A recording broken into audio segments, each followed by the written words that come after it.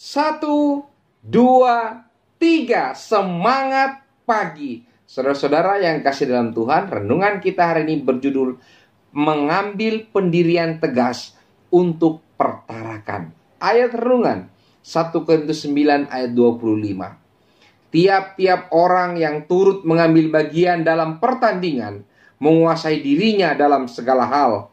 Mereka berbuat demikian untuk memperoleh suatu mahkota yang fana, tetapi kita untuk memperoleh suatu mahkota yang abadi. Satu, dua, tiga. Minimal ada tiga hal yang bisa kita renungkan pagi ini. Yang pertama, pertarakan. Satu paragraf pendek saya mau bacakan. Perhatikan baik-baik. Di dalam lingkungan keluarga dan di dalam jemaat, kita harus menempatkan pertarakan di atas sebuah mimbar yang tinggi. Luar biasa pertarakan. Itu harus menjadi unsur yang hidup dan bekerja. Sambil membarui kebiasaan, kecenderungan dan tabiat. Sifat tidak bertarak terletak pada dasar segala kejahatan dalam dunia ini. Saudaraku yang kasih dalam Tuhan, kita perlu bertarak dalam makanan, minuman, hiburan, pakaian, banyak hal. Kita perlu bertarak. Dan bertarak ini saudara-saudara adalah dasar untuk kita bisa menghentikan setiap kejahatan-kejahatan dalam pikiran dan dalam dunia ini. Kita perlu bertarak. Yang kedua, orang tua. Dalam renungan pagi kita diingatkan orang tua harus melatih dirinya dan menjadi contoh bagi anak-anak dalam rumah tangga. Orang tua berikan kepada anak-anakmu makanan yang sehat dan membangun pikiran serta tubuh. Jauhkan mereka dari minuman-minuman keras, tembakau ataupun rokok, bahkan saya tambahkan narkoba.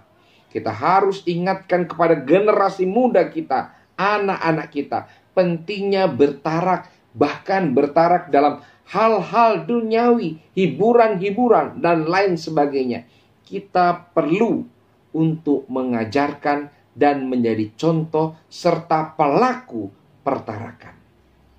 Yang ketiga, latihlah.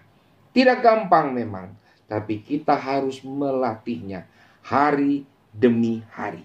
Setiap waktu dan buatlah kesempatan untuk melatih pertarakan. Baik dalam hal makanan, hal minuman, kesehatan, pakaian, ataupun hiburan-hiburan yang engkau pilih. Bertaraklah. Saya mau bacakan.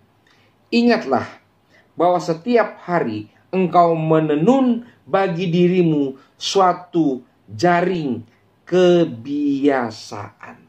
Setiap hari kita perlu bertarak sehingga itu menjadi tabiatmu. Tabiat yang akan kita bawa ke dalam kerajaan surga.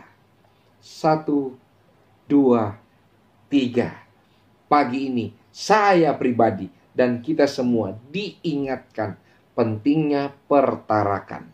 Sebagai orang tua, sebagai yang lebih tua, kita perlu menjadi contoh dan teladan serta mengaplikasikan dalam diri kita. Latihlah itu.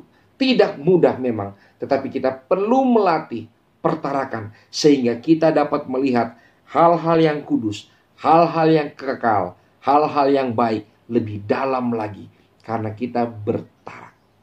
Semangat pagi, selamat pagi. Tuhan memberkati kita semua yang bertarak.